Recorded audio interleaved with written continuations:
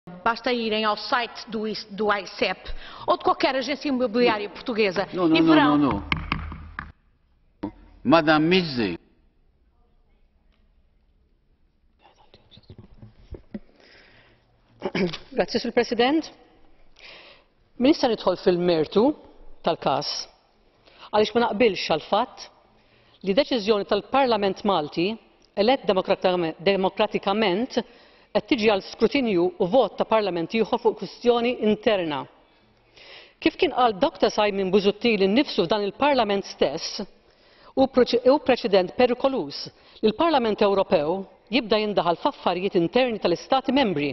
Indħil li m'għandi l-ebda dubju ħadd mill-kollegi deputati ma aċċettaw li jsir ma' pajjiżhom. L-għoti ta' ċittadinanza saret u ssir minn Stati Membri oħrajn u dritt sagrosant ta' kull Membru Stat. Il-metodoloġija, ir-raġuni għall-għotja mhix kompetenza ta' dan il-Parlament u għaldaqstant Insib li dan il-Parlament qed imur oltre l-kompetenza tiegħu. Nistaqsi, għaliex ma sarx da dibattitu meta membri stati oħra daħlu skemi simili kollha jinvolvu l-flus?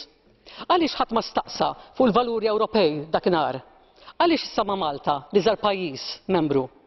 Infakkru li Malta pajjiż żgħir iżda għandha l-istess drittijiet ta' kull Stat ieħor u mhux aċċettabbli li jsir indħil fuq sovranità tagħha wkoll. Infakkar li min instiga dan id-dibattitu li Malta nfakkru li Malta m'għadhiex kolonja u min qed juża dan il-Parlament biex jumilja lil Malta għal skop politiku partiġġjan imissu jistħi.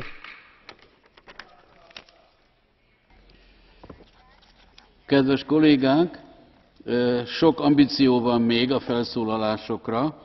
Szeretnék emlékeztetni arra a lehetőségre, hogy a mondani valót írásban be lehet terjeszteni.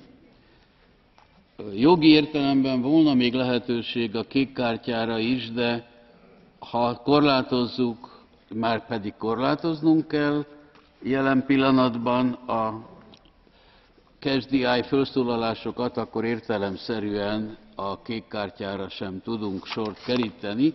Ellenben